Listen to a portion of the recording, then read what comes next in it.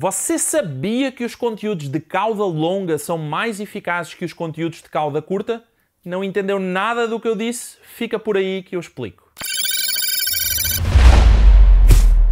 Olá, o meu nome é Paulo Faustino e sou especialista em marketing digital. Seja muito bem-vindo ao episódio 15 do Marketing Break e no vídeo de hoje vamos falar sobre a criação de conteúdo de cauda longa e de cauda curta. Você sabia que escrever sobre temas mais específicos tende a gerar melhores resultados para o seu negócio. Quando falamos de criação de conteúdo, você tem duas hipóteses. Ou você trabalha com palavras-chave abrangentes, ou você trabalha com palavras-chave específicas. Quando falamos de palavras-chave ou temas abrangentes, falamos de short tail keywords, vulgarmente conhecidas como palavras-chave de cauda curta. Quando você escreve sobre saúde, você está escrevendo dentro de um tema super abrangente e com uma elevada concorrência. As suas chances de ser bem-sucedido são muito baixas.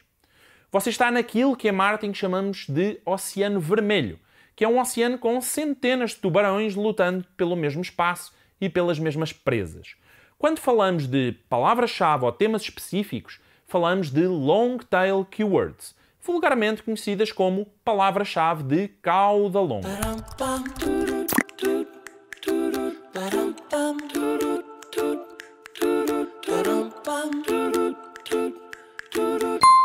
Se quando você fala sobre saúde está falando num tema super abrangente, quando você fala sobre sintomas da ansiedade, você está trabalhando numa palavra-chave específica e de cauda longa.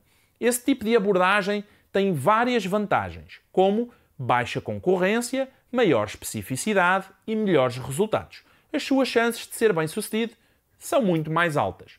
Neste caso especificamente, você está num oceano azul, ou seja, um oceano onde não existem tubarões ou existem muito poucos, logo você tem mais espaço para dominar. Quando você cria conteúdo específico, sejam textos escritos para um blog ou conteúdos para as suas redes sociais, embora você gere menor volume de tráfego, o seu tráfego é muito mais específico, mais qualificado e gera melhores resultados.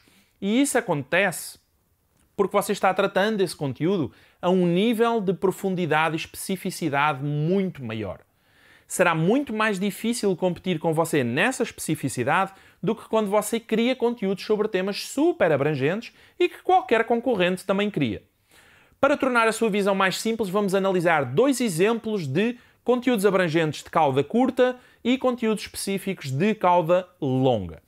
Neste primeiro exemplo, o tema marketing digital é um tema abrangente. No entanto, você pode aprofundar e procurar criar conteúdo de cauda longa sobre redes sociais, dentro das redes sociais sobre Facebook e dentro do Facebook sobre anúncios apenas. Neste segundo exemplo, temos o conteúdo de cauda curta sobre saúde, o qual você pode transformar rapidamente num conteúdo de cauda longa falando sobre doenças, dentro de doenças falando sobre sintomas e dentro de sintomas sobre ansiedade apenas. A regra é bem simples. Saia do oceano vermelho e procure o seu oceano azul de conteúdo.